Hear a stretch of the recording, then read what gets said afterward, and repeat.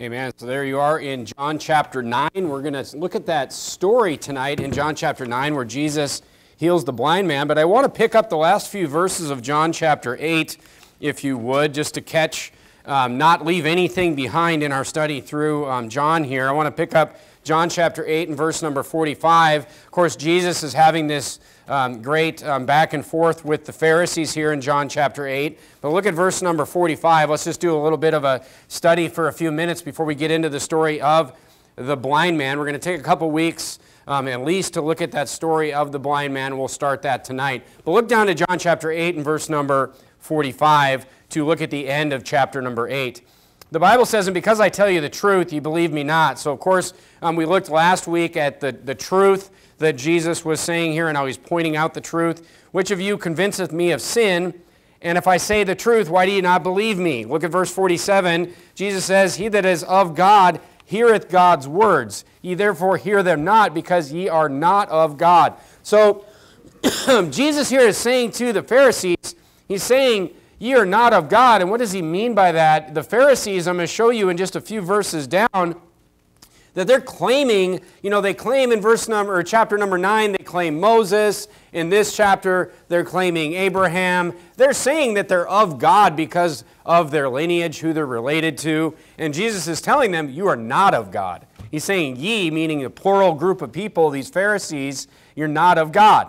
Then answered the Jews and said unto him, Say we not well that thou art a Samaritan, thou hast a devil. Now they're just getting uh, mean. Jesus answered, I have not a devil, but I honor my Father, and ye do dishonor me. He's kind of showing this contrast of how, you know, they are completely different than him. So one of them is a liar, is what Jesus is pointing out. He says, I seek not my own glory. There is one that seeketh and judgeth. Verily, verily, again, truly, truly, I say unto you, if a man keep my saying, he shall never see death. And they just have no idea what he's talking about. Verse 52, it says, The Jews said unto him, Now we know that thou hast a devil. Abraham is dead, and the prophets, and thou sayest, If a man keep my saying, he shall never taste of death. So they don't even understand spiritual life from spiritual death. Because again, they bring up Abraham saying, you know, he says that you will never see death if you know, he, if a man keep my saying, if you believe on him, you'll never see death. He's talking about being passed spiritually from death to life. And they're saying, well, Abraham's dead. Are you saying that, you know, Abraham, you know, didn't see death? But Jesus is talking spiritually here. He's talking about, you know, the second death, as Revelation talks about that we bring up when we're out soul winning. And they just completely miss everything. Look at verse 53. Art thou greater than our father Abraham, which is dead? And the prophets are dead. Whom makest thou thyself? So he's saying, wait, what are you talking about? All these great men of God, who you would even say are men of God, are dead, is what they're saying. Jesus answered, If I honor myself, my honor is nothing. It is my Father that honoreth me, of whom ye say that he is your God. So if you take verse number 54 up there with verse number 47, where he says, Ye are not of God, he's saying, that's what he meant. He's saying, like, look, you're saying you're of God, but you're not of God. You know, they're saying, oh, because Abraham is our father, because we have that genealogy, that he's our God. So if you combine verse 54 and verse 47, Jesus is basically saying that God is his father, that he is literally the son of God, and that they are liars, basically, is what he is saying. He's saying, God, my father, honors me, is what Jesus is saying. Look at verse 55 yet ye have not known him. He's, he's like, you, you have no idea who God is, is what Jesus is saying to them. But I know him, and if I should say I know him not, I shall be a liar like unto you, but I know him and keep his saying. So he's saying if I said that I know I don't know who God is and he's not my father, then I'm a liar. He's like, but I'm not a liar. God is my father. So he's basically just saying here if you don't accept the truth that I'm telling you, you are a liar is what Jesus is saying, showing again that there's no gray area with God. All right, look at verse 56. Your father Abraham rejoiced to see my day, and he saw it and was glad. Now he's hitting close to home. Now he's saying, oh, this, this father Abraham, this genealogy, this forefather of yours that you're claiming, he's like, I know him. I've, I've met him before. Then said the Jews unto him, Thou art not yet 50 years old, and thou hast seen Abraham. Turn to Genesis chapter 14. Turn to Genesis chapter 14. This is really what I want to point out um, before we jump into John chapter 9. I don't want to leave this one behind. But Jesus says a couple things here in the last couple verses of John chapter 9. He's basically going to say, like, hey, I was before Abraham, but he's also going to, he's also telling them, I've literally met Abraham. Look at Genesis chapter 14 and verse number 17. There's kind of this neat little story that I kind of like, you know, um, how sometimes you get stories in the Old Testament where if you didn't have, you know, a little bit more explanation in the New Testament, you really wouldn't think much of it. So if you've read this story in Genesis, which it's funny because I had read Genesis many times before I've actually read the whole Bible. So I'd read this story many times in Genesis before I had read the whole Bible. Look at Genesis 14, 17. It says this is when Abraham takes his men and he goes and he rescues Lot from these invaders. And the king of Sodom went out to meet him after his return from the slaughter of Chedorlaomer and the kings that were with him, and at the valley of Shaveh, which is the king's dale. And Melchizedek, the king of Salem, brought forth bread and wine. So we see this, um, this man, the king of Salem, he's called here, and he was the priest of the Most High God. So in verse 18, we see that Melchizedek, king of Salem, and the priest of the Most High God goes out to meet Abraham. And he blessed him and said, Blessed be Abram of the Most High God, possessor of heaven and earth. Of course, God being the possessor of heaven and earth. And blessed be the Most High God, which hath delivered thine enemies into thy hand, and he gave him tithes of all. So it's interesting because, I mean, if you understand who he is and who's doing what here, basically, this Melchizedek, king of Salem, priest of the Most High God, kind of seems to come out of nowhere here in Genesis chapter 14. And for some reason, he blesses Abram and he tells him that, you know, God gave you this, God gave you this great victory. And then Abram gives 10% of all the spoil to this priest, to this man, to the king of Salem. And that's really all we get from this story in Genesis. And then we see in verse 21 through 23, which I'll just read for you, and I'm really going to dig into something else on that on Sunday morning. But the king of Sodom now, who's really this wicked king? I mean, he's this wicked king, and Abram wants to have nothing to do with him. Abram was there to rescue you know, his nephew, right? And the king of Sodom said unto Abram, Give me the persons and take the goods to thyself. So he's already given 10% of the spoil to um, Melchizedek, king of Salem. And Abram said to the king of Sodom, I have lifted up my hand unto the Lord, the Most High God, the possessor of heaven and earth, that I will not take from a thread even to a shoe latchet, and that I will not take anything that is thine, lest thou should say, I have made Abram rich. So Abram basically says, I don't want any of it. Says, I don't want any of it. And I'm going to talk to you about why he said that on Sunday morning. Now turn to Hebrews chapter 5. Turn to Hebrews chapter number, actually go to Hebrews chapter number 7.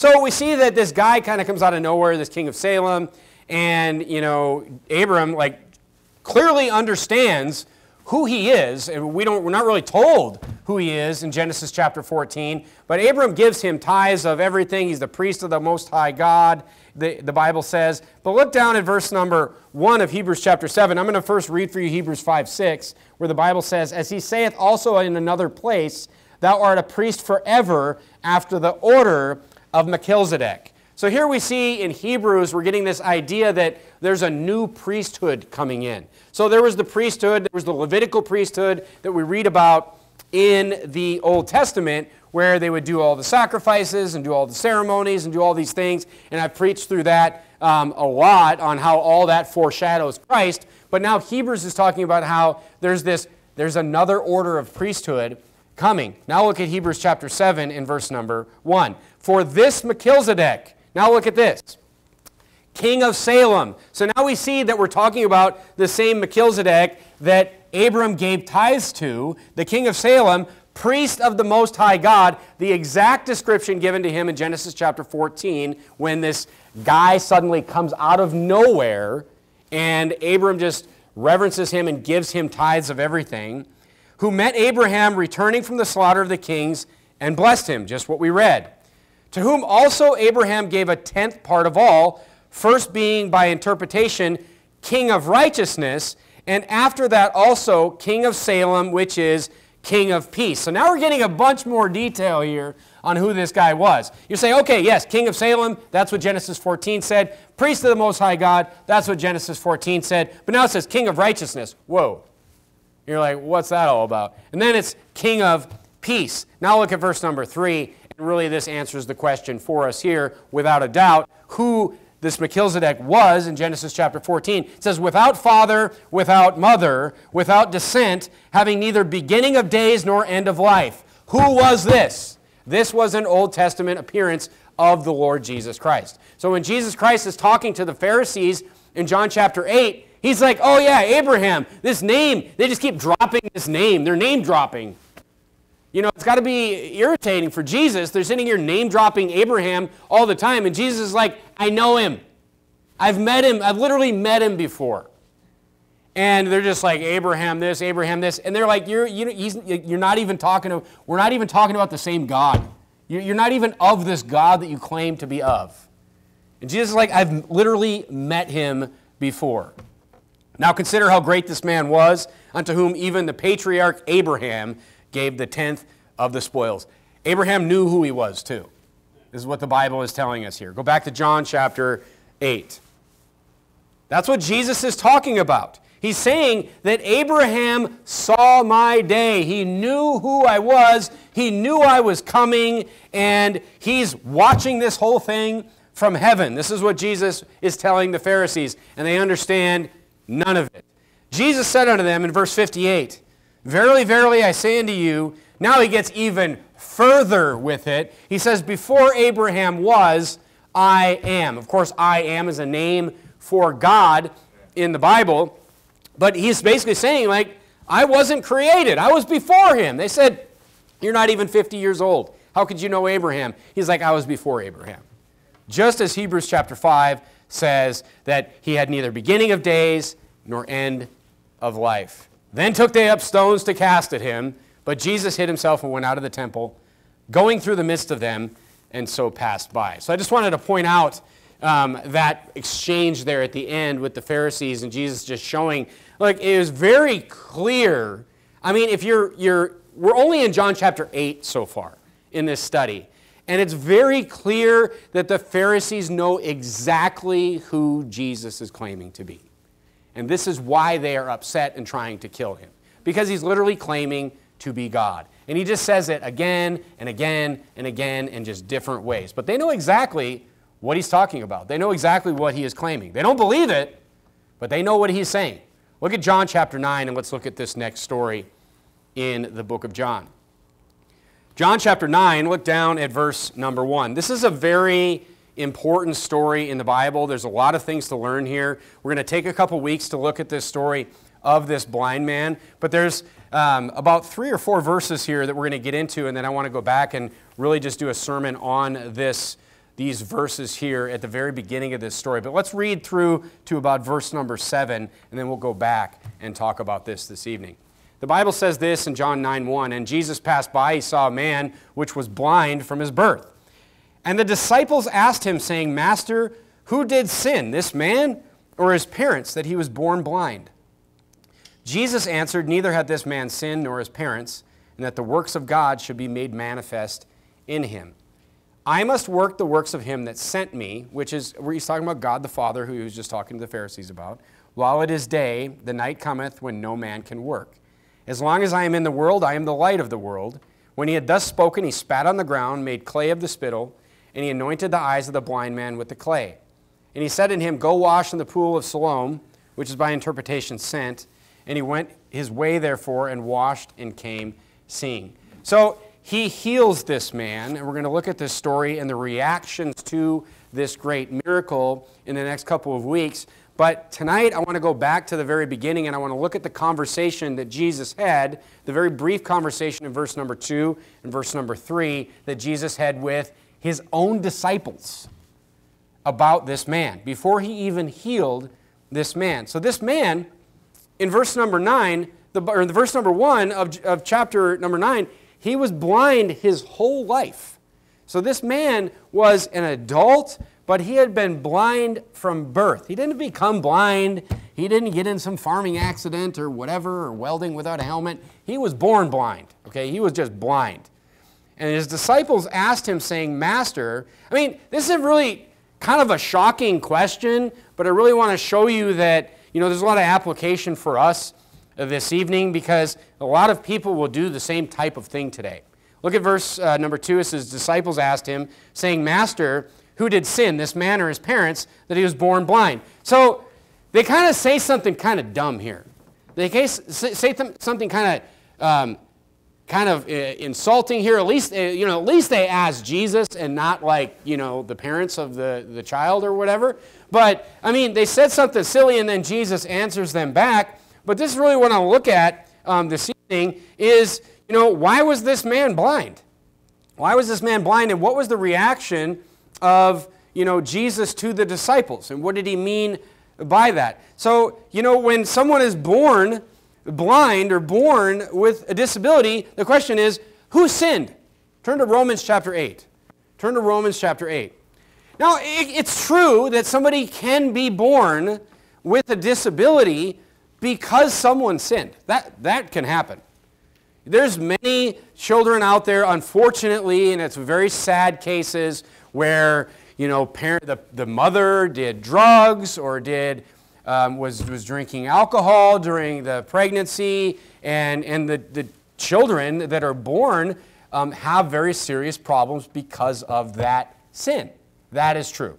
And I couldn't actually find like percentages on, you know, um, children with disabilities that were, I'm sure you could find it out there somewhere. Maybe I should have asked, you know, the Google AI or whatever. But, you know, the point is this, that is not all, you know, children with disabilities, not even close.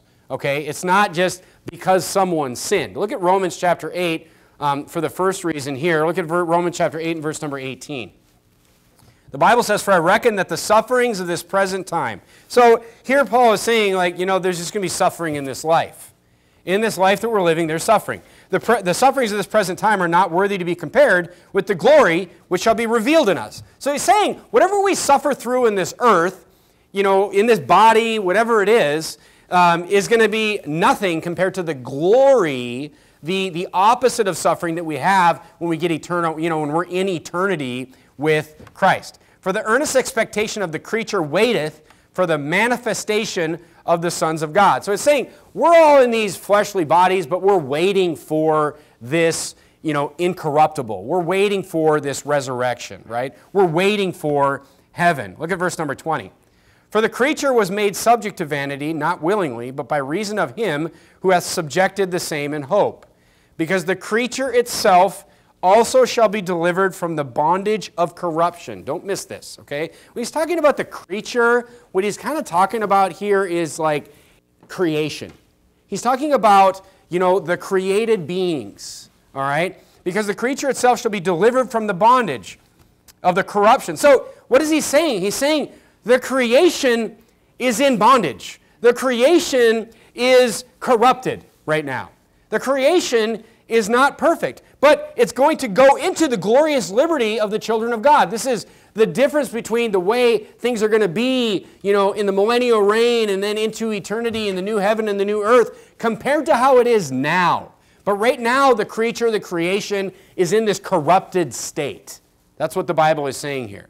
And then in verse 22 kind of sums it up. It says, For we know that the whole creation groaneth and travaileth in pain together until now. In Romans 5:12, you know, the Bible basically says death passed upon all men.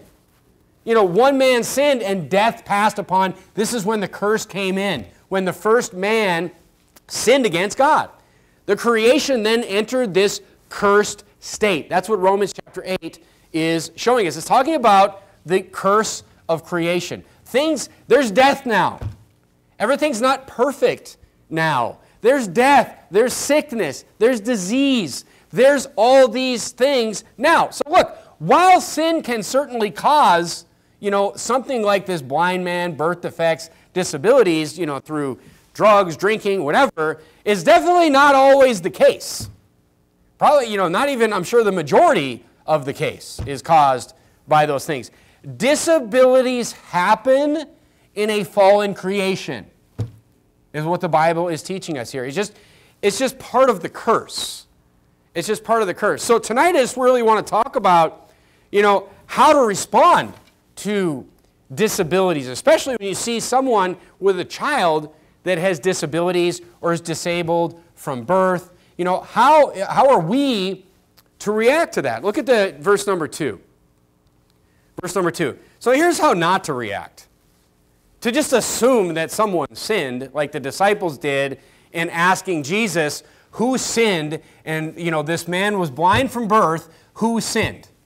So that's the wrong way to do that. So if you have seen somebody or know somebody that has a child that's disabled, or even an adult that has been disabled from birth, like this man, the first thing, well, I mean, first of all, I looked it up, like, it's pretty crazy, but one in six, one in six children that are born have, like, a developmental disability.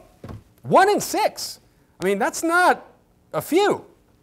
You know, that's not a, a small number. That's, you know, that's, that's over 20%.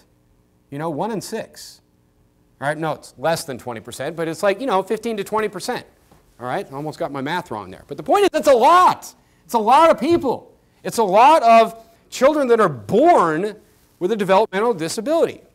Now look at verse number, go to Matthew chapter 7 and verse number 1. So the, first reaction that you should have when you see, you know, maybe somebody you know, maybe a friend, maybe a family member that has a child, has a, a, one of these one in six um, children born, is just be thankful for God's mercy in your life if you haven't experienced that. Just be thankful that, you know, you haven't experienced that. But I want to point out Matthew chapter 7, and I want to kind of give a kind of a, a, a a different application of Matthew chapter 7 in verse number 1, kind of giving you some advice on how you should react and how you should not react when you meet someone with one of these 1 and 6. All right, look at Matthew chapter 7 verse number 1. The Bible says, "Judge not that ye be not that ye be not judged." So if you would see somebody that had a child with a disability and you would immediately think like, well, they did something wrong or God's upset with them or whatever, you're judging in that case and you're not judging righteous judgment in that case. Look at verse number two. It says, For with what judgment ye judge, ye shall be judged. This is kind of scary when you apply it to this type of scenario. And what measure ye meet, it shall be measured to you again. And why beholdest the mote that is in thy brother's eye, but considerest not the beam that is in thine own eye? Obviously, talking about hypocrisy here. Or how would, how wilt thou say to thy brother, Let me pull the mote out of thine eye, and Behold, a beam is in thine own eye. And I've preached about this, talking about hypocrisy many times. Thou hypocrite, first cast out the beam out of thine own eye, then shalt thou clearly see to cast out the mote out of thy brother's eye. You see, a sister application of this verse right here, you know, aside from hypocrisy, is that if you haven't walked in those shoes, if you haven't walked in the shoes of the, the, the people that are walking in the shoes of being parents of somebody with a child with a disability, you should, you should be silent about it.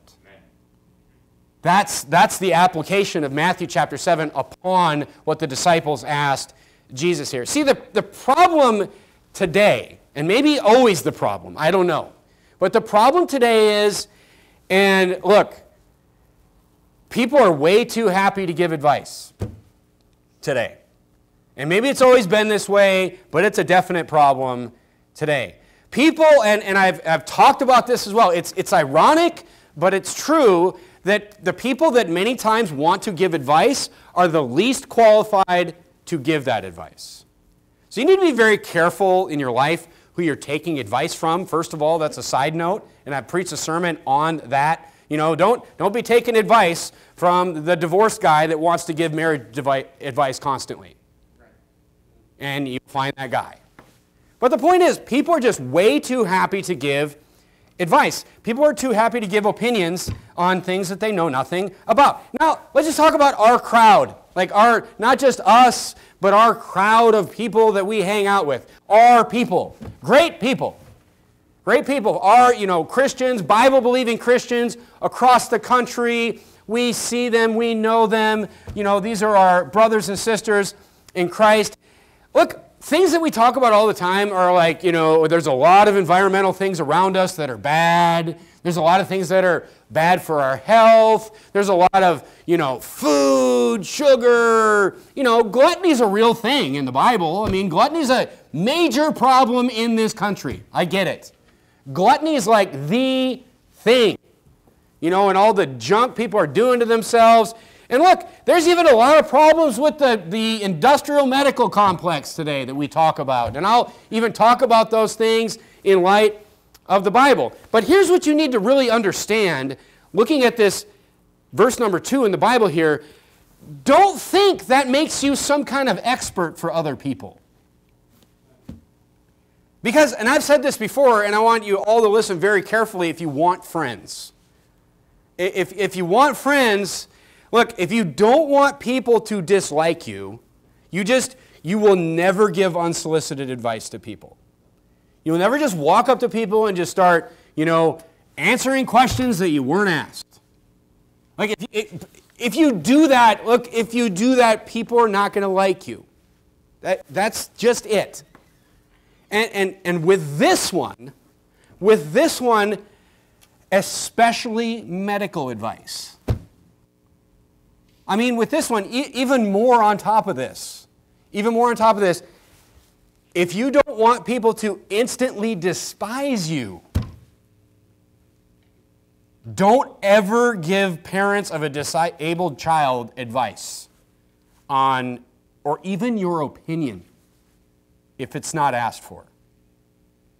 I mean, this is, I'm glad these disciples asked Jesus and not anybody else that was around. But we just, we live in this era of experts today. You know, everybody, these self righteous people, you know, people can get so self righteous because, look, people are way too eager to give advice on the things that they're least qualified to do so. Example of this YouTube. YouTube. I mean, that's, that's, that's much of YouTube right there, is people giving advice that they are not qualified to give. And look, watching YouTube doesn't make you an expert on anything.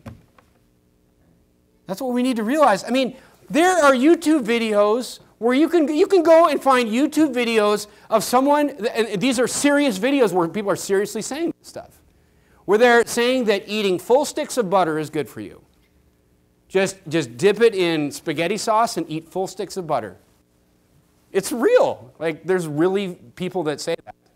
There's people that say things like, you know, uh, the best, uh, a, new, a new special workout where you don't have to work out very long. You don't have to work out. Like, because look, it's painful to work out for 30 minutes or 45 minutes or whatever. You can work out in four minutes. All you have to do is punch yourself and slap your muscles all over the place as hard as you can.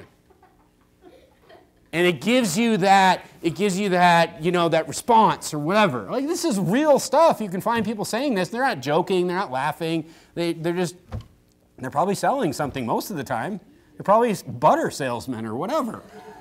You know? I mean, there's, there's one where like this guy, like, he's like, you know, you, you don't have to work out, you can just inject oil in like some kind of oil into your muscles. And the guy's like this huge, like, looks like, you know, it looks like a monster, you know? It's like, yeah, you could be like me. And it's like, ah. But I mean, these are, these are stupid things, but there's a lot of dangerous stuff out there too. There's a lot of dangerous stuff. There's like all, all kinds of like alternative treatments to serious disease and all these different types of things. I remember one of the funniest one of the funniest examples of this. Pastor Thompson was giving a sermon one time, and he was like he was like deathly ill. He had like pneumonia or some, something, and somebody just comes up to him with like unsolicited exactly what I'm talking about, like unsolicited medical advice. He's like needs to be hospitalized, and they're like, you need to just put garlic in your socks. And he's like, you know, I got to go to the doctor, you know, or, you know, it's just, look, do this to never get sick and all these different things. Look, watch what you want and you do what you want. But until you've walked in those shoes, just be silent. You know, don't tempt the Lord, by the way. You know, don't tempt God. I mean, the worst thing that you could do as a friend of somebody, especially with a child with disabilities, it was number one, assume it was something the parents did wrong. You think it was the vaccines? you joke. You joke. I mean, you, you laugh about that. No, I mean, that would be the worst thing you could possibly say to somebody that had a child that was going through, you know, a disability or something like that. You know, I mean, the first thing that you could, the worst thing you could do is actually think that it was something that parents did wrong, and the, the, the next worst thing you could do is actually say that. Say what you were thinking. You know, I mean, in Proverbs 29, it says, A fool uttereth all his mind. You know, you should install, we need to make sure we install a gate between our thoughts and what actually comes out of our mouth. Or people are just going to feel like you're a fool. And look, they're going to, they're going to be disgusted with you. So the first thing is, if you haven't walked in those shoes, just praise God, be thankful, be a blessing, be silent, though. Just be quiet about it. Turn to John chapter 9, go back to verse number 3. John chapter 9, look at verse number 3. John chapter 9, look at verse number 3. Jesus answers the question. And he doesn't get all upset and bent out of shape, and he answers it pretty well. And Jesus answered and he says, Neither hath this man sinned. He's like, You're wrong. It's not that this man sinned, nor his parents, but that the works of God should be made manifest in him. It's saying this particular man, it, God's going to show his works through this man, is what, and I'll get back to that thought in just a minute, but turn to 2 Corinthians chapter 12. Turn to 2 Corinthians chapter 12. So you say, you know, why does God allow it? You know, and I've already showed you that the creation is fallen. That wasn't God's fault that the creation is fallen, that there's imperfections, that there's, you know, genetic things that happen, that there's, you know, the, the creation is broken, it's cursed, it's corrupted for now. It's not always going to be that way, but why does God allow it? Look at that, that child, and that child is innocent. Yes, this is true, but creation is still fallen. Why does God allow it? Well, God says here, He's like, the works of God are going to be shown here in this man. Look at 2 Corinthians chapter 12. Look at verse number 9. So Paul, he had a problem. Paul had a problem, and let me just turn there myself. Paul had a problem. He was sick. He doesn't say why he was sick or what his sickness was, but he tried, he asked God to take this away from him. It says um, in verse number 9, look at 2 Corinthians chapter number 12 and verse number 9. I want to go back uh, look at verse number 7. It says, Look at verse 5. It says, Of such an one I, you know, one I will glory, yet of myself I will not glory, but in my infirmities. So Paul is saying, like, look, he had some kind of disability. I mean, you know, what does a disability even mean? I mean, it's like I've got allergies. That's a disability. You know, that's that's something that's wrong with me. You know, I'm allergic to certain things. Certain things, you know, make me get hives or whatever. I had when I was younger, I had asthma, you know, and I, I had to be hospitalized a couple times. Like that's, I mean, that was a serious thing. My wife said to me the other day, like, she said, meant, meant, she made the comment, I don't know what we were talking about, but she made the comment like, it must be so terrible not to be able to breathe. And I'm like, it is terrible. I can remember. It feels like you're drowning. Like every single breath, like you can just, you can't hardly take a breath at all. Look, that's a, that's a disability. Thank God I don't have that anymore, but it was a disability. And look, Paul said he had infirmities. Look at verse number six. For though I would desire to glory, I shall not be a fool, for I will say the truth. But now I forbear lest any man should think of me above that he seeth me to be, or that he heareth of me. And lest I should be exalted above measure through the abundance of the revelations, there was given to me a thorn in the flesh. So this is interesting. He's saying, so I don't get too high and mighty. He's saying, so I don't get too big headed or think I'm so great that God gave me all these revelations, that Jesus took me into Arabia and taught me personally for three years. God gave me some problems. God gave me some pain. He gave me some disabilities. He gave me some suffering. And he says, There was given to me a thorn in the flesh, a messenger of Satan to buffet me, lest I should be exalted above measure. For this thing I besought the Lord thrice that it might depart from me. And he said unto me, Jesus answered him. If you ever read a letter Bible, these are red words right here. He says, My grace is sufficient for thee, for my strength is made, my, my grace is sufficient for thee, for my strength is made perfect in weakness. So right there is a, is a great reason that, you know, disabilities exist right there. And, and Jesus literally says it himself when he answers Paul about his disability or his sickness or whatever it was, whatever was wrong with his physical body, Jesus says, No, no, no. He's like, My strength is made perfect in weakness. What does that mean? What does that mean? What it means is this if we were always strong, we would never recognize strength. This is what it's talking about. Turn to Judges chapter 2. I'll give you an example in the Bible. If we were always healthy and we were always strong and there was never anyone even around us that was sick, that had a disability, that had anything, I mean, I get it, the creation is cursed, but uh, if the creation wasn't cursed and everybody just had no problems at all, you never saw a child with disabilities, look, we wouldn't appreciate strength. That's what the Bible is saying. Look at Judges chapter 7 and verse number 2. God literally put this into action when Gideon was going to defeat the Midianites. Look at verse number 2. We'll just look at one verse here. The Bible says in verse number 2 Gideon's got all these men, hundreds and hundreds of men. And the Lord said unto Gideon, The people that are with thee are too many for me to give the Midianites into their hands. God literally says to Gideon, You're too strong here. He says, You're too strong. I need you to be weaker. So God goes through in the following verses, he goes through this process where he just he sends these people home and he sends these people home until there's only 300 people left. But in the last part of verse number 2 he says, "Lest Israel," he explains why he does it. He says, "Lest Israel vaunt themselves against me saying, mine own hand hath saved me." Lest Israel say, "Yes, we won why? We won because we were strong."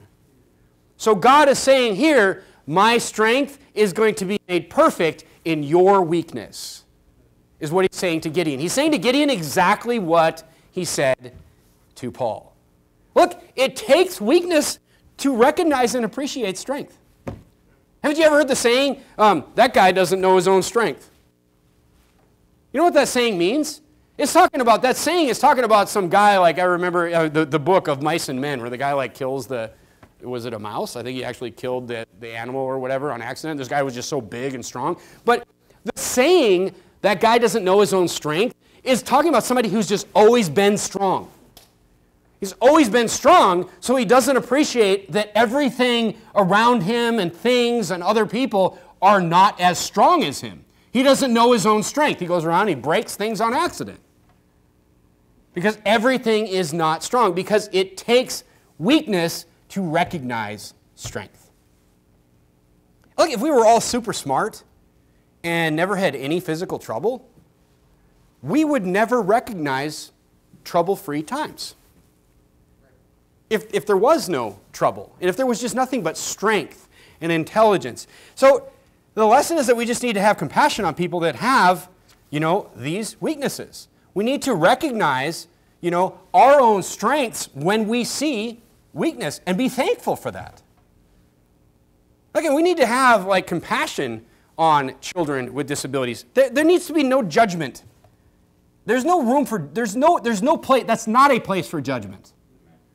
That's not righteous judgment. I remember that, I mean, we did, um, we did foster care for two, two and a half, almost three years. And one of the things that one of the things that I learned through that process was I learned a lot about people that were trying to adopt children.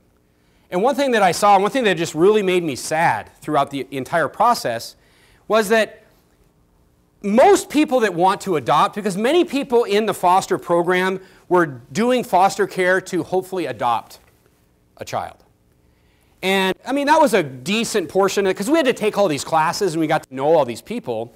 And a lot of them, you'll find some people that it's kind of their mission to be foster. Look, and I'm not defending the government or anything like that, if that's not what this is about. But we met these people. Some people were just, they did it as their mission to have, you know, just to foster children, just through their house. And other people were trying to adopt through foster care. Because not everybody has $30,000, that's what it cost back then, to adopt a child. That's what it costs. It's super expensive. And guess what? Not everybody can afford that, especially people that want to adopt a child. So, and I can't tell you how many times, one of the wonderful things that we always saw um, in those classes, I, I think we lost count of how many parents were trying to adopt because they couldn't have their own children and they got pregnant while they were trying to adopt. And then they ended up adopting anyway. But the point is, one thing that I really learned and has really made me sad was that I mean, and that I think there was a reason I did that. It really gave me compassion for children, especially children with disabilities.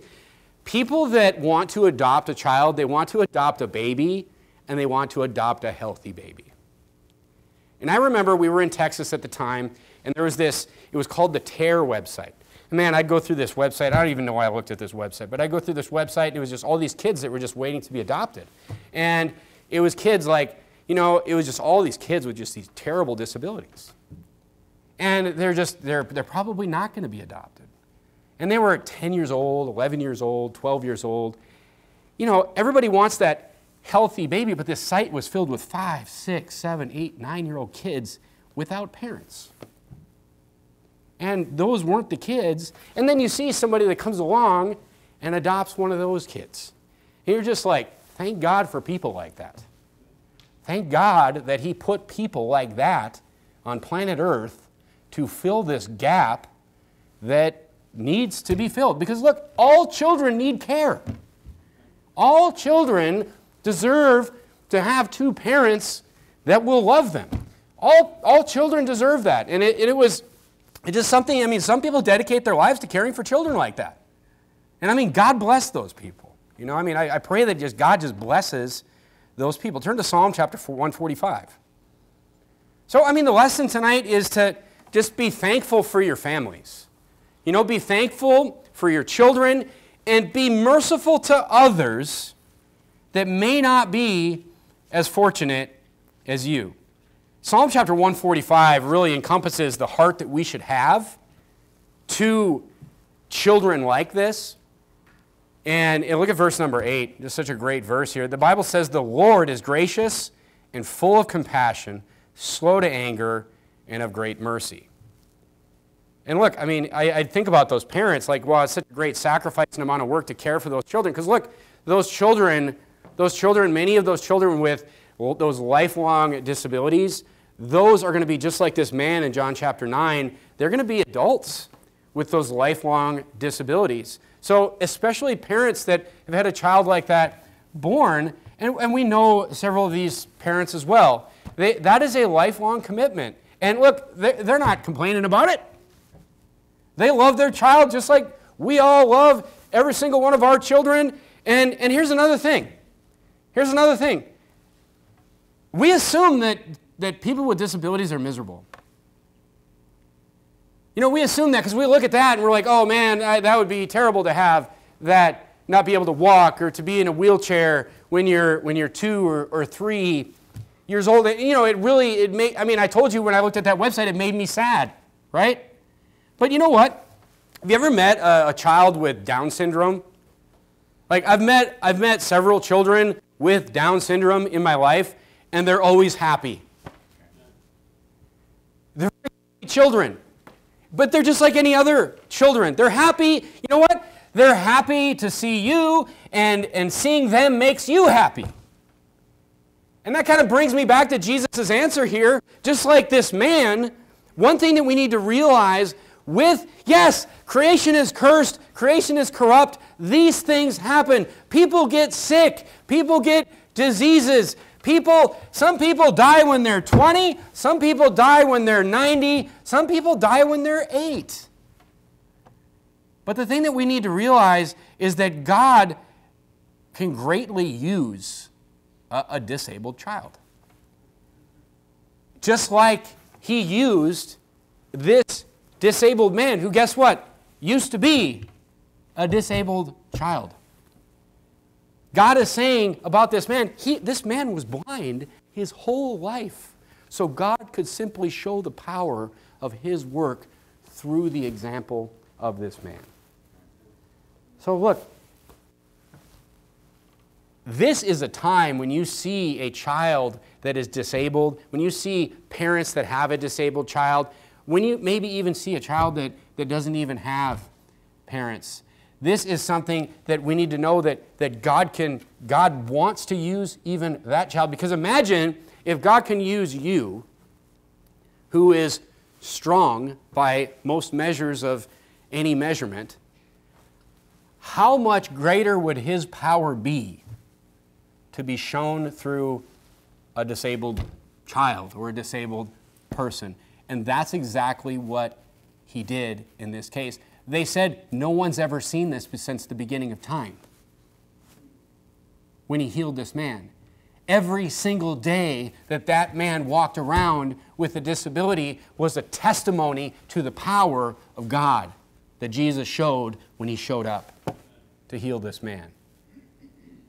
And look, when we see these situations, you don't know what that's like. You've never walked in those shoes. It is not any kind of time for judgment, it is a time for compassion, for mercy, and for grace. That's it. And God will use those situations. Why? To show, to, to manifest His power, to show His works. Let's bow our heads and have a word.